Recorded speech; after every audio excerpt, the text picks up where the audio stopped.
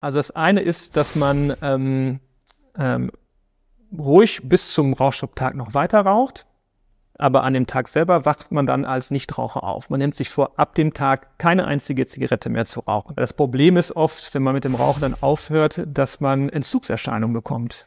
Und da gibt es zum Beispiel äh, Nikotinersatzprodukte, Nikotin-Kaugummi, Nikotinspray, was gut hilft ähm, in den ersten Wochen beim Rauchstopp der Hausarzt, die Hausärztin kann auch da gut beraten. Ne?